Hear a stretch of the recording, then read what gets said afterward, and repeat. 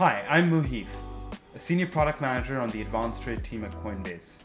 And today we're going to do a sneak peek of the upgraded design for advanced trade on coinbase.com, which is coming this spring. Soon, we're going to be making some changes to how you access the advanced interface.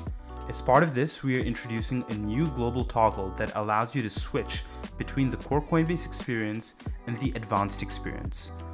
Not only are we adding this new easy to find toggle, we're also adding the ability for Coinbase to remember your preferred trading experience and we'll take you directly there the next time you visit coinbase.com. We've also heard from many of you that the trade page is where you want to land once you've logged in. So we've made it the homepage going forward for advanced trade, making it easy to jump right in.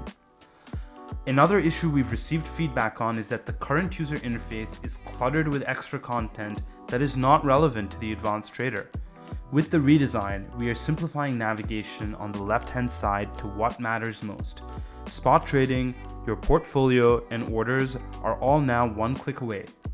While futures trading is not offered directly through Coinbase platforms, US users can view the latest market data on the price of Nano Bitcoin and Ethereum futures contracts in the Futures tab, which is offered through a Coinbase derivatives exchange.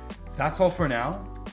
Also, if you're interested, please email the address below to join our Customer Council program where you can interact directly with me and the rest of my team to help build a world class advanced trading platform. See you soon and thank you.